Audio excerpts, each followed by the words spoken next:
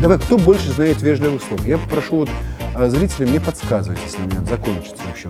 Давай, поехали. Ты первый, я второй. М, Пожалуйста. Привет. Спокойной ночи. Молодец, спасибо.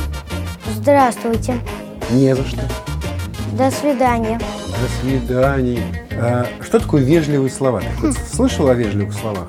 Слышу, Что такое вежливые слова? когда ты красивый, когда ты сильный. Это комплименты, говорят. А вежливые слова, они необходимы для того, чтобы учтиво поддерживать беседу. Вот при встрече что нужно друг другу говорить? Привет, конечно же. Или здравствуйте, да? Да. А если тебе угостили вкусной конфетой, что нужно сказать? Тоже спасибо. Или благодарю, да? Да. А если ты кого-то угостил вкусной конфетой, тебе сказали спасибо, а ты ему что ответил? Ни за что. Вот э, обычно есть такие понятия, как вежливые слова. Слышала? Ну да. Э, Много вежливых слов знаешь? Очень. Давай. Э, Давай, кто кого, кто больше? Давай, ты и слово, я вежливый, давай. Спасибо. Пожалуйста. А, спокойной ночи. На здоровье. Доброе утро. Добрый вечер.